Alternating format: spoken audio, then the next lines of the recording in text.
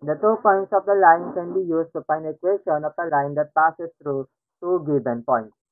Two points form, so pakitandaan ang formula na to, y minus y sub 1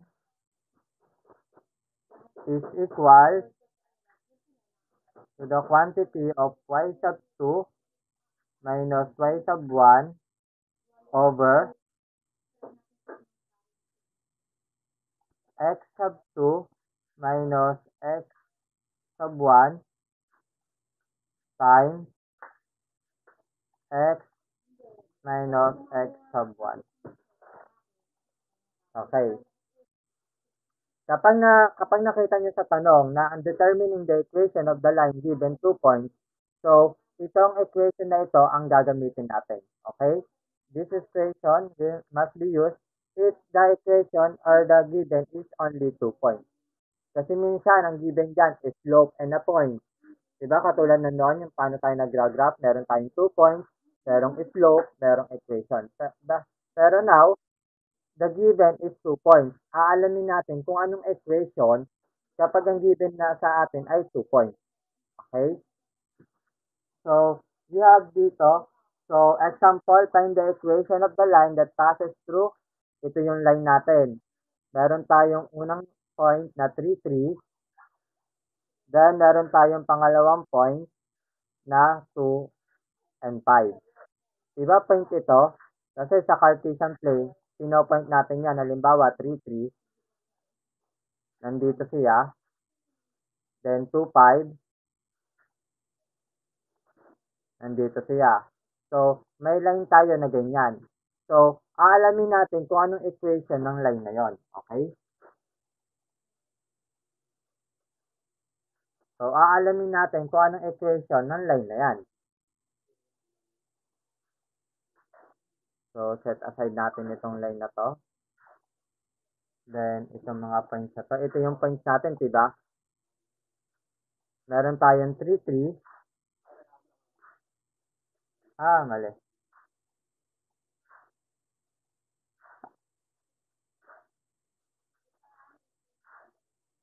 Ah, wait lang class ha.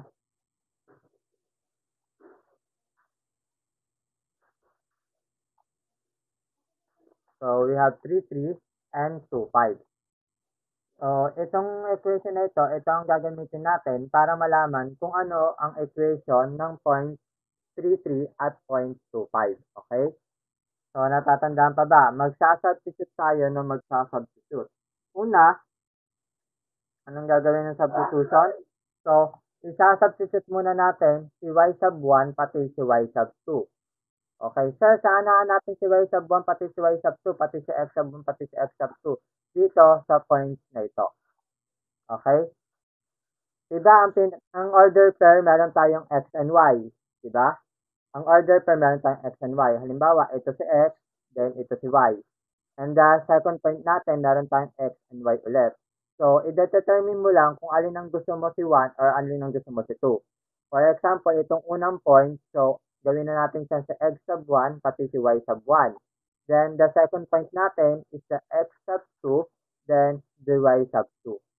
Okay? So, ang x sub 1 natin is 3, ang y sub 1 natin is 3, the x sub 2 natin is 2, and the y sub 2 natin is 5. Clear ba tayo doon? Thumbs up kung malinaw tayo doon.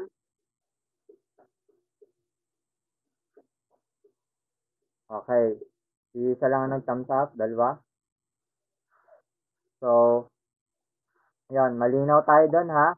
So, iyon si y sub 1 pati si y sub 2, si x sub 1 pati si x sub 2. Ngayon, matapos natin magkaroon na ng value ng x sub 1 pati y sub 1, x sub 2, and then y sub 2, isa-substitute na natin sa dito. Okay. May value ba tayo ng y? Wala, kasi si y sub 1 lang yan, pati si y sub 2. So, si y, copy lang natin si y. Ano ang value ng y sub 1 natin?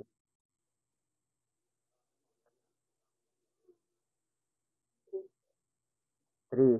So, y minus 3, okay, equals, then substitute din natin, ang y sub 2 natin is 5, minus y sub 3 natin, y sub 1 natin is 3 over x sub 2 natin is 2 minus ang x sub 1 natin what? 3. Then, multiply siya. Si x sub 1 natin, ay si x natin, walang value si x. So, si x, nananatili siyang x. Then, ang x sub 1 natin is 3. Yan. So, na-substitute na natin sina x sub 1 pati sina y sub 1, x sub 2. Ganon. Ngayon, kapag na-substitute na natin, so, computing natin itong part na to. Okay? So, computing natin yung part na yan. So, copy lang ulit si x, x minus 3 equals 5 minus 3.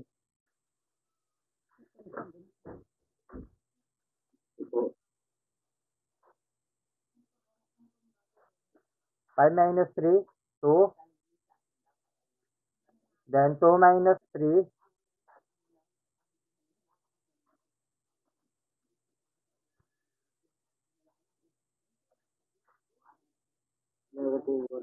Okay, negative 1. So, we have 2 over negative 1 times x minus 3. Okay, 2, 2 over negative 1. Diba, kapag 2 over negative 1, equal din siya saan?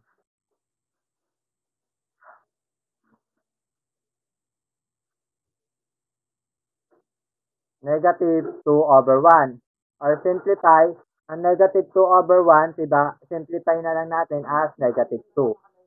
So, yung 2 over negative 1, pwede yung maging negative 2 over 1 or negative 2 na lamang, okay? Simplify na natin siya. So, nagkakaroon tayo ng negative 2 na lamang. So, negative 2 na lang siya. Kaya mapapansin nyo dyan sa libro, nandiyan pala sa libro, bakit siya negative 2 na lamang yon? Kasi nagsimula yon sa, negative, sa 2 over negative 1, then pwede din siya maging negative 2 over 1, or simplify na lang na negative 2. Naintindihan ang part na yon? Okay, thumbs up nga sa mga nakaintindi sa part na yon. Yan, okay.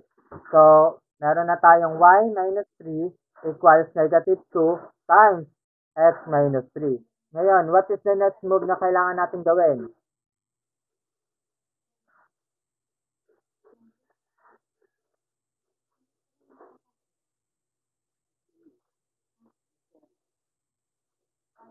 So, itong negative 2, i-distribute natin siya sa x and sa negative 3.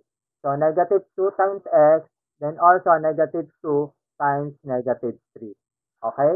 Negative 2 times x, then negative 2 times negative 3. Tandaan natin na parenthesis lang yun nandito, walang positive or negative sign or positive or negative na operation dito. So, multiplication ang gagamitin natin operation. So, copy si y minus 3 equals negative 2 times x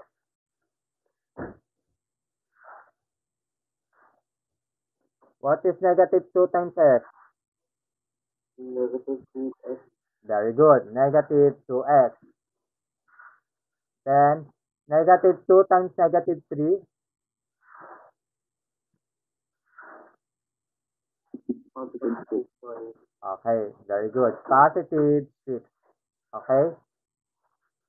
So, negative times negative, positive, then 2 times 3 is 6. So, positive 6. So, ngayon, ano nga ulit ang itsura ng ating equation? Dapat ang itsura ng equation natin, diba? Ang equation natin is y is equals to mx plus b. Plus b. Diba ganyan ang itsura ng equation natin pagdating sa line, sa linear? So, mukha na ba siyang ganyan? Hindi, kasi may negative 3 pa tayo dito. So, si negative 3, ililipat dapat natin sa kabilang side. So, imumove natin si negative 3 sa kabilang side. Kung negative 3 siya at minove natin siya sa kabilang side, magiging ano na yung sign niya? Positive na po. Magiging positive na. So, y is equals to negative 2x plus 6 plus 3.